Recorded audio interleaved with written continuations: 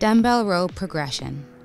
For this exercise, we will be using a dumbbell for resistance and a bench or chair for good posture. Hold your dumbbell in your right hand.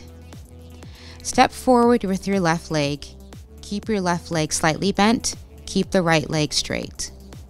Keeping your back straight, bend forward and place the palm of your left hand on the chair or on the bench Draw your belly button in towards your spine. Only your arm will move during this exercise. Start with your right arm straight and the dumbbell beneath your right shoulder. Keep your right palm facing in. Pull the dumbbell straight up, keeping it in line with your right shoulder. As you lift the dumbbell, squeeze your shoulder blades together.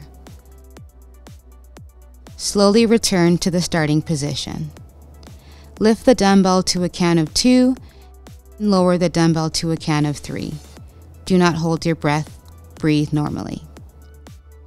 Repeat until you have finished 10 to 15 repetitions. When you are done, switch to your left side.